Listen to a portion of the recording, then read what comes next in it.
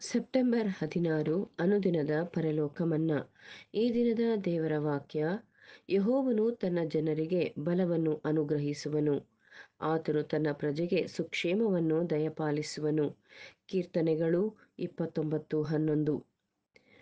ನಿನಗೆ ಬರುವ ಪರೀಕ್ಷೆಗಳು ಮತ್ತು ಶೋಧನೆಗಳನ್ನು ಜಯಿಸುವ ಸಾಮರ್ಥ್ಯ ನಿನ್ನಲ್ಲಿದ್ದರೆ, ಅವುಗಳಿಂದ ನೀನು ತಾಳ್ಮೆ, ಅನುಭವ, ಸಹೋದರ ಕರುಣೆ, ಸಹಾನುಭೂತಿ ಮತ್ತು ಪ್ರೀತಿ ನಿನ್ನ ಸ್ವಭಾವದಲ್ಲಿ ಕಾರ್ಯ ಸಾಧಿಸುತ್ತಿರುವುದಾದರೆ ಸಂತೋಷಪಡು.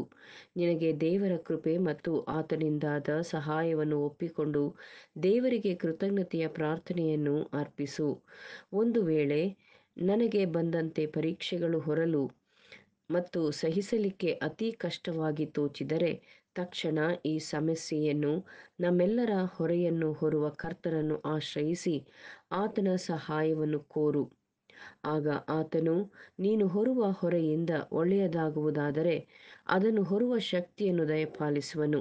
ಇಲ್ಲವೇ ಅದರಿಂದ ಒಳ್ಳೆಯದಾಗದಿದ್ದರೆ ಅಥವಾ ಹಾನಿಯಾಗುವುದಾದರೆ ಅದರಿಂದ ನಿನ್ನನ್ನು ಬಿಡಿಸುವನು. ಆಮೇನ್.